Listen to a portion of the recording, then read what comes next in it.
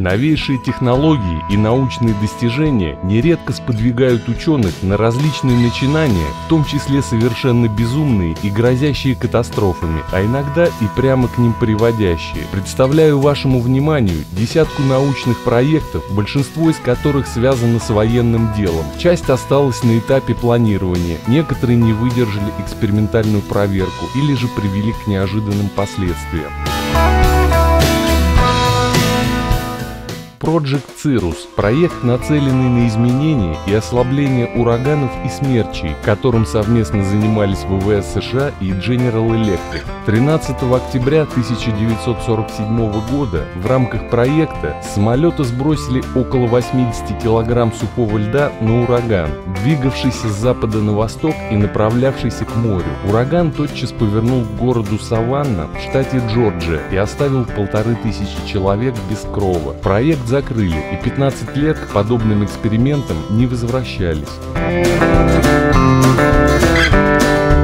Грибком по урожаям. Проект американских вооруженных сил, нацеленный на превращение в оружие грибка магнопорта грисея, который поражает сельскохозяйственные культуры. Этот грибок агрессивен, быстро размножается и может загубить до половины урожая. Идея состояла в том, чтобы сбрасывать грибок на поля противника с помощью бомб или заражать источники воды. К счастью, проект свернули в начале 60-х годов прошлого века.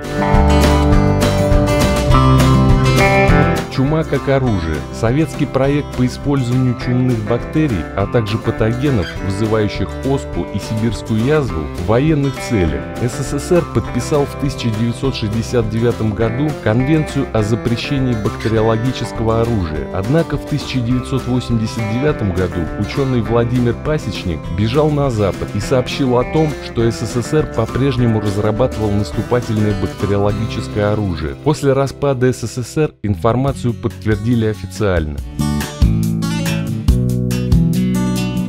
Project Seal – проект американских и новозеландских вооруженных сил по формированию искусственных цунами. Идея проста – инициировать буйство стихии посредством подрыва мощных бомб под водой. Прожил проект недолго. В 1945 году, после всего года испытаний, США отказались от этой затеи. Новая Зеландия проводила опыты еще дольше. Более 3500 боезарядов были подорваны у побережья Окленда, но все без толку.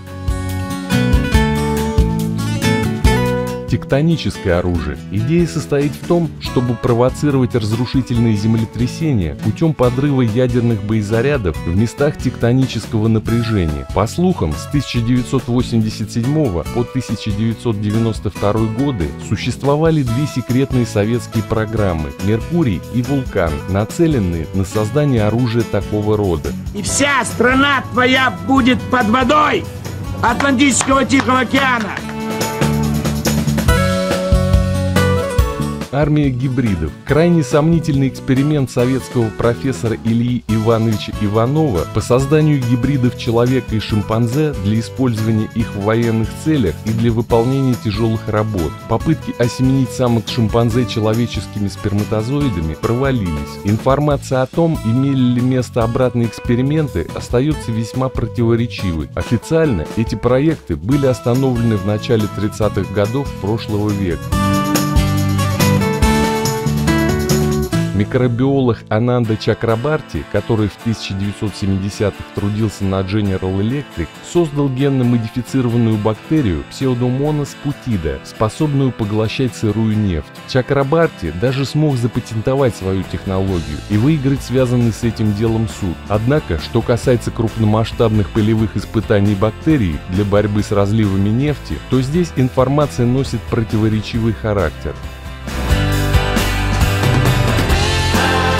Проект Starfish Prime. Проект, по сути, сводился к подрыву ядерного заряда в магнитосфере Земли с тем, чтобы проверить возможность применения возникающего при взрыве электромагнитного импульса для борьбы с электроникой противника. Взрыв, произведенный в 1962 году, привел к увеличению концентрации заряженных частиц в радиационном поясе Земли и отказу ряда спутников на низких орбитах. США и СССР довольно быстро отказались от высотных ядерных ядерных испытаний. В 1929 году немецкий инженер Герман Оберт предложил проект орбитальной станции с массивной вогнутой линзой, которая должна была направлять солнечный свет в нужную точку на поверхности Земли. Подобное оружие позволило бы сжигать целые города и испарять водоемы. Нацистское правительство прикинуло смету и убрало проект под сукно.